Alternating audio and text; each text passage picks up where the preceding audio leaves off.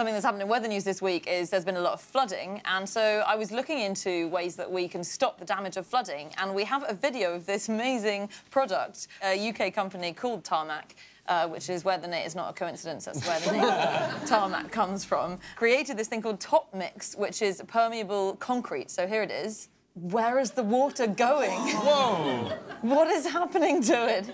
It just sucks up the water. And so it's able to drink a thousand litres of water per square metre in one minute. No And way. So if we use that, then all our water just disappears down into the tarmac. We're all fine. It has drawbacks, like it's a bit weaker than normal tarmac. And If you um, drop your drink. what do,